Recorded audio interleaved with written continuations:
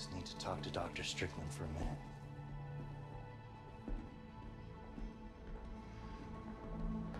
I looked out for her. I protected her, even when I could have been shot for it. I saved Mei's life.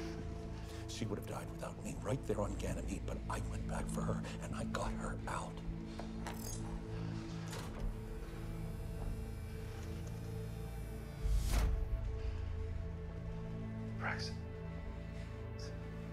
Mei since she was a baby.